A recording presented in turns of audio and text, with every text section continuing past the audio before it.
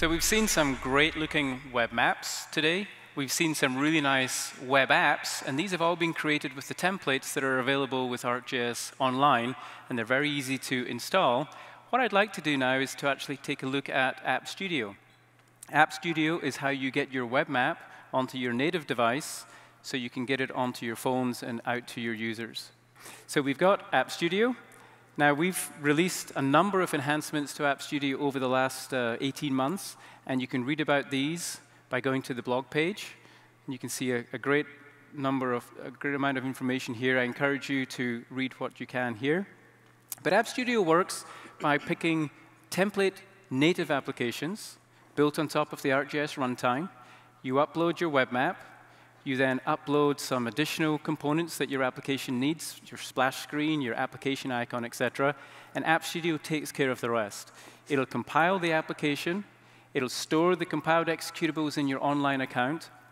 And then you can download these directly onto your native device, or if you'd like, if, you got, if you've got an organization that wants to push this information out to uh, constituents, you can put these applications directly into the App Store and you don't actually have to be a developer to create native applications.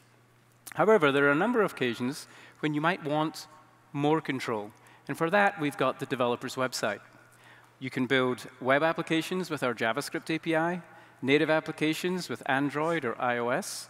You can build desktop applications with Java, .NET, Qt, and Python API, as we've seen earlier this morning, is available here as well. So how do you get started building with ArcGIS. The best place is to click this Getting Started button, and we have dev labs. There's over 100 dev labs. These are 15-minute tutorials or less, and they really cover all aspects of the work that we do with ArcGIS, and they're a great resource for developers.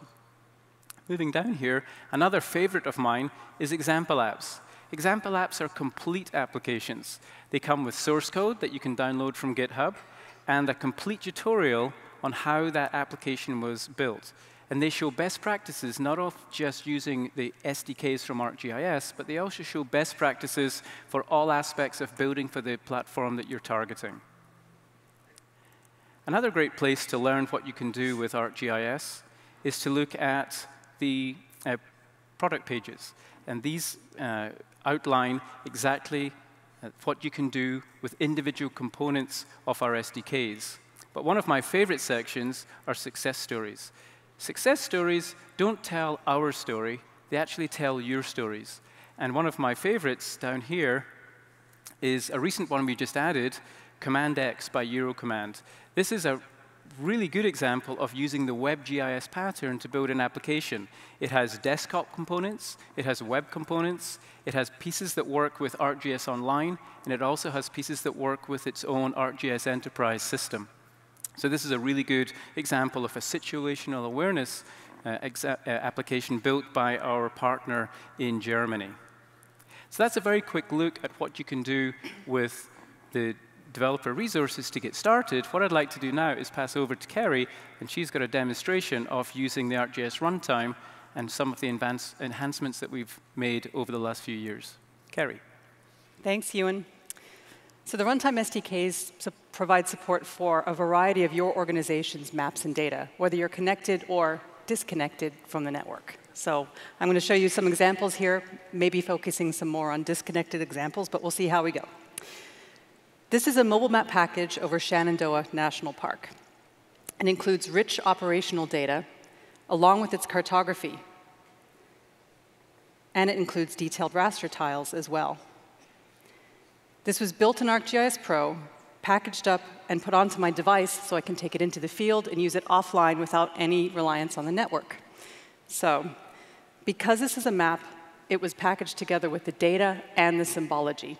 And in this particular case, it also includes a network data set, so I can find the best route from my location back to headquarters. One of the really great things about mobile map packages is that you can take a lot of the great content that you're creating in ArcGIS Pro, you could package it up in a way then that just works in the custom apps that your developers are building using the runtime SDKs. So they can focus more of their valuable time building uh, additional great features into their apps. In addition to content created using ArcGIS, Runtime also supports se several open, and industry standard formats that are important to your organizations, including OGC's Web Map tiled service. This is an example uh, of a scanned FAA chart over Atlanta. We also support OGC's GeoPackage specification, which is for transferring raster and vector data. This is ex an example of some vegetation data over Washington, D.C. In addition to the more than 20 raster formats that Runtime now supports, including a few that are important to some of your organizations, such as RPF data, DTED, and NITF, we also support electronic nautical charts based on ISO's S57 and S52 specifications. Now, Runtime also supports an experience in 3D for working with your data. In this case, I'm working completely disconnected from the network here, so everything's local to my uh, mobile phone. So we're, we're, looking over downtown San Diego, and I have a base map here, a tile package of a, a scanned map. I'll go ahead and switch over to my imagery map, and I can add in some local data. I've got some buildings data here. We can do more than just visualize data, though, in 3D. We can also analyze it in real time using our new exploratory analysis tools, similar to what we support in ArcGIS Pro. So in this case, we're following a vehicle as it's moving through the streets of downtown San Diego. The viewshed's being updated in real time using the GPU of, the, of my mobile phone. But what might be more useful, since I'm working in 3D, is if I can understand when this vehicle is visible by certain uh, vantage points within the city.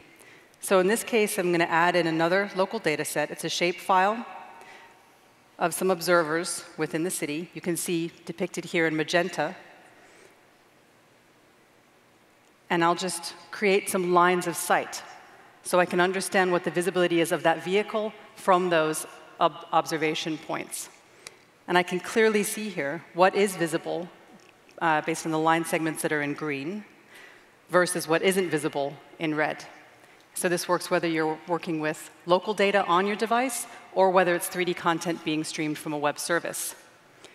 We're really excited that the Runtime SDKs provide comprehensive support for your maps and data, whether you're in 3D or 2D, whether you're connected or disconnected from the network, and whether you're working on mobile platforms or on desktop platforms.